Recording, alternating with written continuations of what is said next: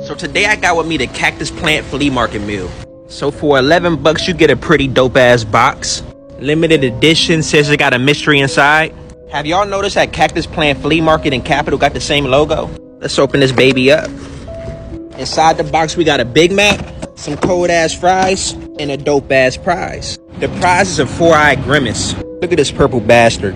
Not gonna lie, I feel like this is gonna be a collector's item, so I will hang on to this. Everything else is pretty basic. We got some cold fries and a pretty dry Big Mac. Y'all, I haven't had a Big Mac in years. I ain't gonna lie to y'all, this Big Mac low-key hit. I don't know if it's because I'm hungry, but this Big Mac saw something serious. The patties are super thin though. I read an article that said this shit was human flesh, but this shit hitting.